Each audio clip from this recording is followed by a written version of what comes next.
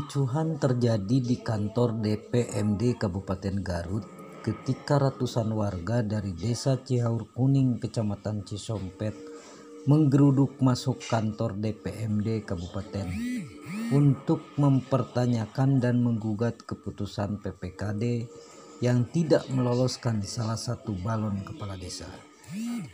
Kericuhan terjadi saat warga merangsek masuk ke dalam kantor sambil berteriak-teriak dan kemudian prank kaca pintu kantor DPMD pecah.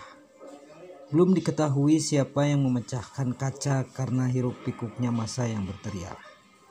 Kuasa hukum balon kades yang tak lolos, Asep Abdar, sarjana hukum mencoba untuk menenangkan warga yang merasa tidak puas.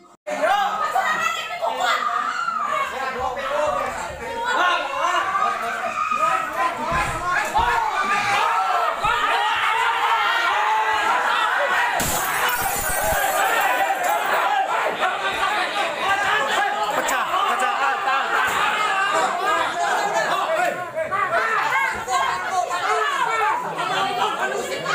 Tapi aturan ini juga yang mereka tidak taati.